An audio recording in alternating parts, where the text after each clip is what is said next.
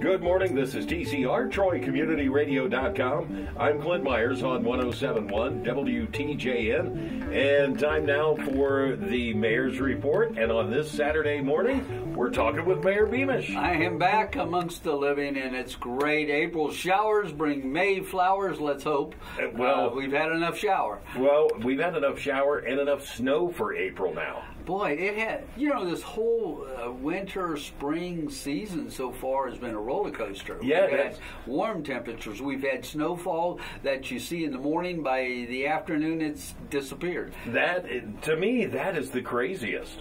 It, it's it's been a, a really, like I say, a roller coaster ride. From being uh, cold enough to snow to then uh, into the 50s this week, I, I close to know, 60. Right. So, so maybe we'll get those Mayflowers uh, because we've certainly had enough uh, uh, precipitation. Let's call it that. Yeah, I'd much rather hear the thunder than see the snow. Yes, that's right. that's right. Now, we did have council this week, Mayor. We sure did. Uh, this past Monday, uh, we did have council on April 2nd. Um, prior to council, we had a unique meeting. We had three uh, subcommittee meetings of council, and they, the Safety and Health Committee met, and they were looking at the hazard mitigation plan that needs to be renewed every five years. Just a simple thing is if you uh, have an incident uh, of any kind of variety and you need, uh, like FEMA, in uh, coverage of that, you have to have a plan in place.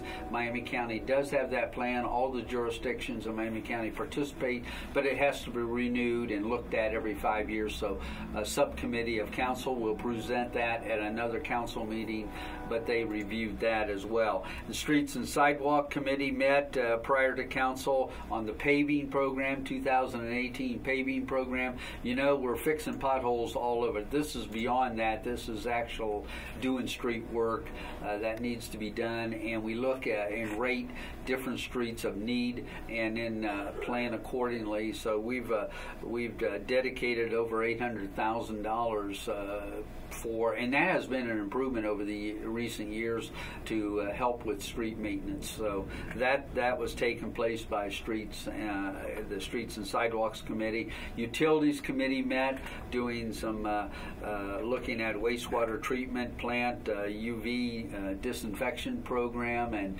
and uh, that's been there for a long time and needs to be upgraded. And so we talked about that as well as uh, the sanitary uh, sewer project going in there uh, and and keeping the, the storm sewers uh, open. And everything, everything that you've mentioned is infrastructure. This It's is it- it's keeping this stuff going and in good shape, so we we don't fall under the gun. all those issues of the subcommittee, and um, again, uh, each subcommittee is divided by council members, uh, three people, one being chair, and every one of those issues I shared with you is going to move forward to council for a future council uh, agenda uh, meeting. But we did meet on Monday. We did have a number of items. Uh, we we've listened, we've talked. Uh, with the budget uh, included uh, renovation for the clubhouse at Miami Shores Golf Course, um, and council voted 9-0 to move forward with that project. Hopefully, getting that started so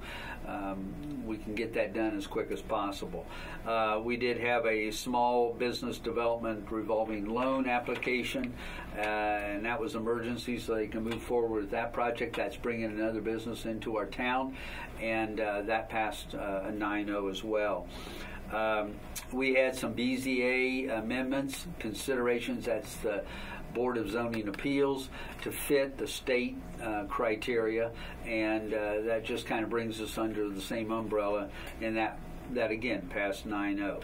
One thing that did go to a second reading is the sections six and seven of Stonebridge Meadows uh, plan development and dedication of right of way. That they want to council wants to look at that. There are some issues out there that are being discussed by the homeowners there, and we're listening, and council's listening. So they want to do a little more uh, homework on that before they make some decisions about section six and seven and for that area. So that moved to a second reading. And then we closed uh, with uh, general reappropriations. Sometimes you move, you have to move, you have to have the money, but you can move it around uh, to fit the need. And so they had a reappropriation of funds uh, based on the auditor's recommendation, and that again passed 9 0.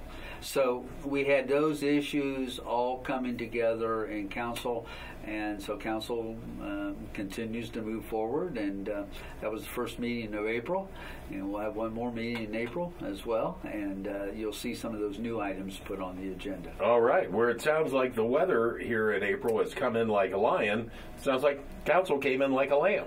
Yeah. Well, that, you know, I, I have to say this about council many times. You know, these are people who choose to run, uh, to be leaders in the city, and to uh, move the city forward. Many times they make decisions that are not always popular. But I will tell you about this council.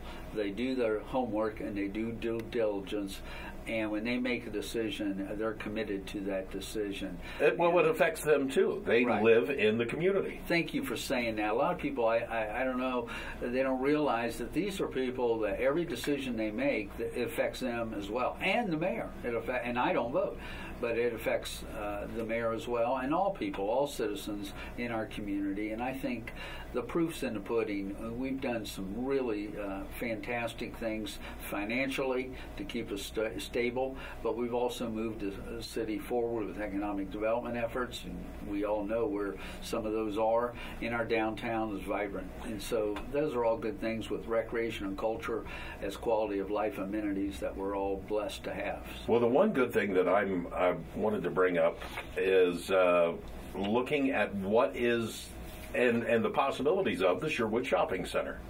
We're, we're really looking at that. I know uh, a lot of people wonder uh, why the city hasn't just taken that over. Well, we don't own it. Right. Uh, now, there is some efforts of local ownership, which we're very excited about. But along with that, you're going to have to look at, uh, at that whole center and how we're going to renovate that center and how we're going to bring it alive again. And there are efforts uh, being made every day to try to uh, first of all localize that center and then bring it back to life. I think uh, having local owners is going to be the first big step. And and we uh, have some interest in that, so we're hoping that'll move forward. That is great.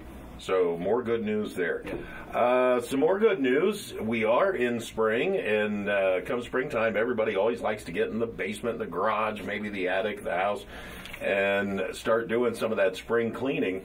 We have our uh, spring neighborhood cleanup that's coming here in uh, next week in April. Absolutely. On April 9th through the 13th will be our uh, annual spring neighborhood cleanup, and that allows you to exceed the capacity of your cart. Uh, and uh, you can have additional bagged household items uh, that can be placed out on that collection day. And if you need to have extra uh, space, put them away from the cart, but they'll get picked up on that as something we've been doing for a number of years, and and uh, it goes along with the dye mill facility and all the other um, opportunities that people have for uh, trash and recycling uh, collections. Absolutely. So that's going to be taking place uh, this uh, coming week. All right, so that's the 9th through the 13th. Absolutely. So set out that extra refuse you may have. With all the rain that we've been getting, I'll mention this. Uh, make sure your gutters, make sure there's nothing blocking the gutters in the street. You have always uh, mentioned that, and, and that's good community uh, service as well. You know, it helps everything, so you don't have that. We have enough water and don't have the backups. If we can keep the storm sewers clean and clear, uh, that that's just good of debris, and uh, we can bag those up if you want to have them picked up, or you can take it out the dye mill facility, or rather than just let them go down the storm sewer. All right, Mayor, thank you so much, and uh, welcome back. Well, thank you very much. If I can make one more comment, Certainly. you always say, "Is there anything else you'd like to say?" Is so there- I'm going to preempt that. Is there anything else you'd like Thank to say? you. Well, I want to share uh, a change of the Board of Park Commissioners, very important board in our city that uh, monitors and uh, looks at our park system, and we have a beautiful park system. Uh, one of the members, Levi Fox, uh, uh, needed to resign that position. He's a young man, uh, did a great job on the Board of Park Commissioners, joined uh, uh, Susan Westfall and Al Cappers, uh, but we needed to get a replacement.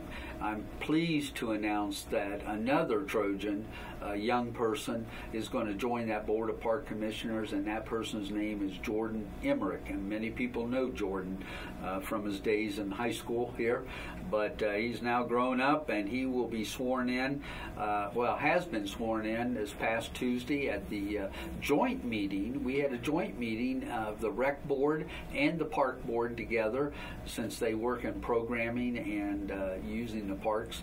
So they meet uh, occasionally to get together and share. And Jordan was uh, given the oath of office, so he is now a full-fledged member of the Board of Park Commissioners. So Wonderful. we welcome Jordan. To Welcome, that Jordan. Position. All right, Mayor. Uh, thank you so much. Thank you. I'm glad to be back. Okay. This has been the Mayor's Report. I'm Clint Myers on 1071 WTJN.